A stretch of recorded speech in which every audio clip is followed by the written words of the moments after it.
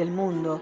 Sin embargo, muchos de los jefes o cabezas espirituales de las escuelas del misterio, retiros interiores, fueron cíclopes, quienes un día abandonarían su raza elder y vendrían como verdaderos els.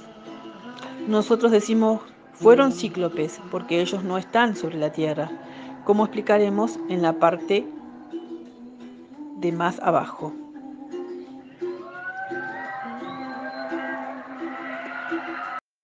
La hermandad de los siete rayos se había iniciado originalmente con los cíclopes, puesto que fueron los primeros que manifestaron los siete rayos de vida sobre el planeta Tierra. Esos seres proyectaban una radiación de energía especial que permitía el establecimiento de los siete rayos de vida en nuestro planeta. Y si hubiese faltado, nunca habría existido la hermandad de los siete rayos. Asimismo, los, ciclo, los pasaron a la séptima condición y entraron en Teta, el octavo universo de pensamiento. El disco solar de oro de Mu no fue hecho por los cíclopes, aunque el principio de su modo de operar y el secreto de su poder se hallaron en las bibliotecas abandonadas de las ciudades subterráneas ciclopeas. Aquellos que son bastante sensitivos como para sintonizar dicho conocimiento de las edades posteriores a lo humano, descubrieron aquellas verdades y posibilitaron la construcción del disco de oro. Así el disco entró en la vida de la madre patria de Mu. Es preciso saber que el hombre de la tierra nunca llegará a ser un L, pero podrá llegar a lograr una condición atemporal como este porque el plan presente de la jerarquía es la producción de una síntesis subjetiva en la humanidad y la interacción telepática que llegará eventualmente a aniquilar el tiempo, aunque el hombre no llegará a ser un L, debido simplemente a que no pertenece a la raza ciclopea. Ahora la raza L llegará a conquistar el Mit y reinará como un verdadero Dios, el Hijo del Creador. Los nuevos focos de iluminación del Nuevo Mundo. En julio de 1957, el amado maestro El Moria dio, dijo, aquellos peregrinos quienes buscaron la iluminación espiritual y guía de hoy en adelante serán atraídos por Sudamérica, como ellos habían hecho anteriormente por Oriente. Para este fin, los rectores de las fuerzas de la naturaleza y el reino elemental están siendo preparados para proporcionar medios naturales de acceso al hasta ahora no tocado foco espiritual de la iluminación en las montañas de los Andes.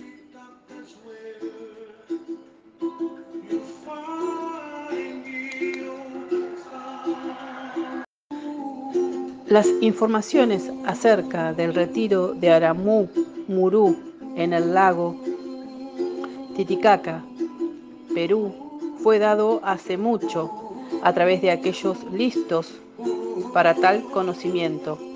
Los rayos permanentes entran al planeta Tierra en dos lugares.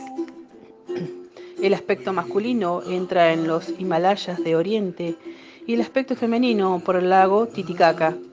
El aspecto masculino ha sido prominente a través de todas las edades de la Tierra, pero ahora el aspecto femenino está destacando a medida que la Tierra penetra más profundamente en las vibraciones de los siete rayos. Este aspecto femenino, por su entrada en la zona del monasterio de la Hermandad de los Siete Rayos, llegará a ser evidente en el futuro. Es interesante subrayar que tanto por la cultura como por otros aspectos, el Tíbet y el Perú se asemejan mucho, a tal punto que aquellas fotografías tomadas en uno u otro sitio pueden confundirse una y otra. Pero cuando nosotros comprendemos que aquellos son las dos áreas sobre la faz de la Tierra donde los rayos permanentes entran, la explicación es simple.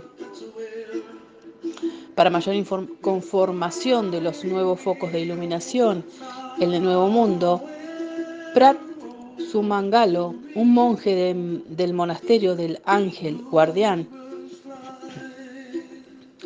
Wat Dou, Doi, Suttep, Cien Mai, Tailandia, recientemente escribió para la abadía, diciendo, Asia está espiritualmente en bancarrota, pero ustedes están en una región que tiene su pralaya, resto del, del periodo a descifrar, el descanso y está ahora despertando para las cosas del espíritu.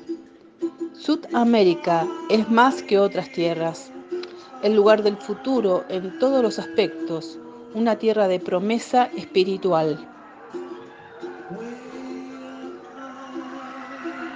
En marzo 1957, el compañero de Iluminación de Oro en Los Ángeles, California, dijo, los llamados son continuos en la mente sobre la senda de la luz, para que todos aquellos que están en las fuerzas oscuras se unan para el restablecimiento del reino de la paz y el amor. En junio de 1952, el puente de la actividad en pro de la libertad dijo, son las señales de la nueva aurora. Nuevos canales están siendo abiertos. No sustituyen a los viejos, pero los ayudan. Trabajadores están entrando por doquier. Amigos de la gran hermandad blanca se elevan hacia todas las direcciones y el hombre no puede detener el ataque de este poder cristiano, liberando las corrientes espirituales de la hora. Ellos no tendrían éxito si se enfrentaran desafortunadamente a las corrientes de la nueva aurora. Además, tales individuos parecerían bajo la misma ley, la, la cual causa el regreso del engendrado amor, que ellos otorgan a la posición del progreso. Nunca antes como hoy día puede ser más verdadero el dicho de los jefes espirituales del mundo y de todos los nuevos canales. Por su fruto vosotros los conoceréis. Ahora, por doquier, aún más que en 1952, los canales del infinito poder del amor y la sabiduría del Padre están empezando a abrirse y están trayendo para su pueblo palabras de consuelo e instrucción para los días anticipados a la catástrofe verdadera. Pero nosotros estamos seguros, y la jerarquía y visitantes del espacio, que el mundo no está marchando hacia el final. Lejos de ello, muy al contrario. Habrá muchos cambios geológicos sobre la Tierra, sí, pero reconocemos que aquellos grandes eventos como los profetizaron la salvación que se acerca, concluirá la noche.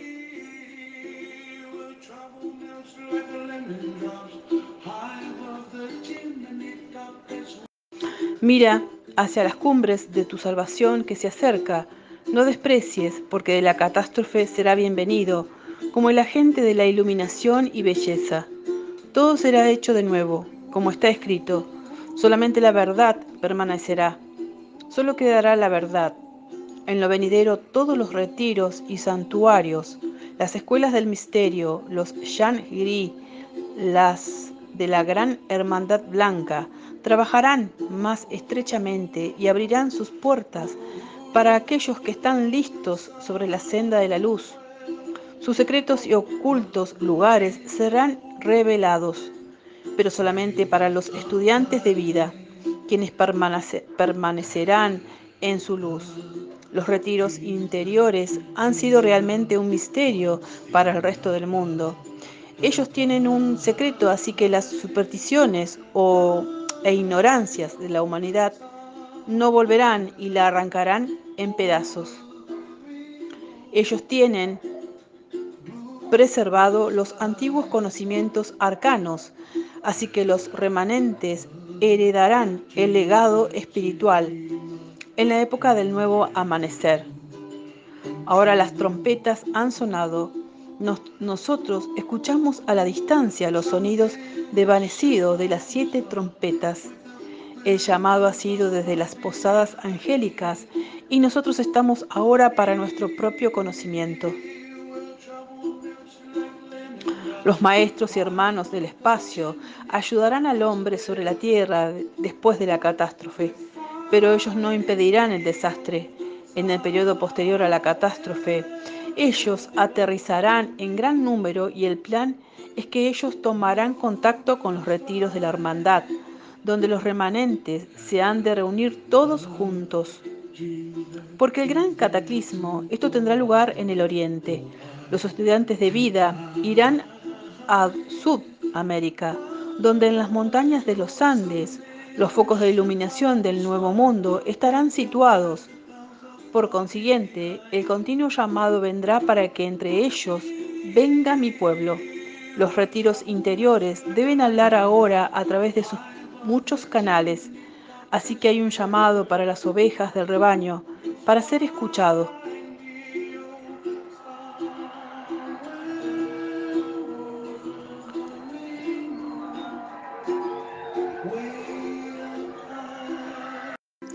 Durante muchos años, los maestros de otros planetas en nuestro sistema solar y en otros sistemas solares y de otras galaxias han estado en comunión con los maestros adeptos o maestros residentes en el planeta Tierra. Finalmente se decidió en 1956 que las escuelas del Misterio de la Tierra operaban en un cuerpo espiritual como la Gran Hermandad Blanca, que empezaría inmediatamente a descubrir algunos de sus antiguos secretos y verdades para el mundo exterior. Comentando sobre esta decisión en 1956, Ama Aramu Muru dijo en el lago Titicaca, en adelante no guardaremos silencio, sin embargo abrimos aún nuestra senda para los profanos, ni tampoco las perlas de la gran sabiduría se echaron antes a los puercos, porque hay puercos sobre la tierra y en la tierra. Pero el planeta se cerrará para aquellos en breve. No son todavía dignos de recibir a la, a la divina sabiduría. Nosotros nos ocupamos de los millares de corazones hambrientos y almas de miles, y nosotros prestamos oído a su hambre, y nosotros conocemos el interior de nuestros seres, que ellos solamente pueden ser satisfechos con el verdadero maná, el cual solamente viene de nuestro infinito Padre. No será sorpresa si, se, si te escuchas entrar en la aventura, mensajes de la Hermandad Blanca, la cual es la jerarquía para todas las hermandades de la tierra. Llegó para nosotros el momento de acción. Es el tiempo para hablar y hablaremos. Ahora está preparándose diligentemente el camino para que sus huellas sean escuchadas a través del mundo. El reino no está cerca de nuestra mano, el reino está aquí. Él brevemente será manifestado a todos los hombres. Nosotros estamos esperando este, este tiempo con ansiedad a lo largo de los siglos. ¿No es entonces época para regocijarnos? Aun cuando algunas catástrofes vendrán al mundo, pero de esta purificación catastrófica heredará, heredará el hombre su divinidad.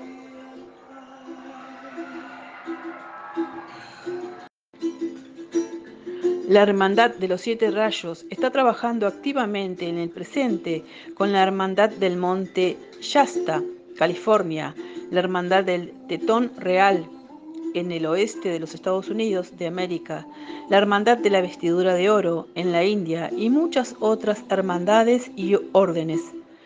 Por supuesto, hay una completa cooperación con todos los miembros de la jerarquía de la Gran Hermandad Blanca. El conocimiento que estuvo reservado para los iniciados solamente es ahora impartido directamente fuera de los retiros interiores y hombres, mujeres y niños de todas las razas vendrán juntos a aquellos retiros y formarán un congreso filosófico espiritual. La nueva tierra, profetizada realmente, saldrá de sus pralayas y se unirá con la jerarquía de la tierra y las estrellas hacia los mentores del remanente que permanecerá sobre la tierra en los días venideros.